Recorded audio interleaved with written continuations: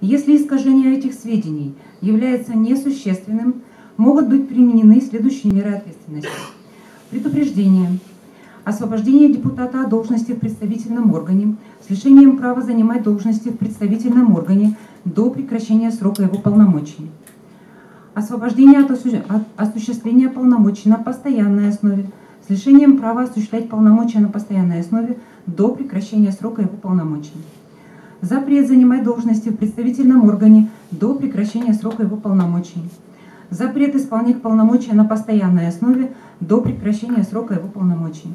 Вы применяете меры ответственности, основываясь на своем внутреннем убеждении, учитывая соразмерность совершенного нарушения депутатом и главой города и суровость и жесткости наказания.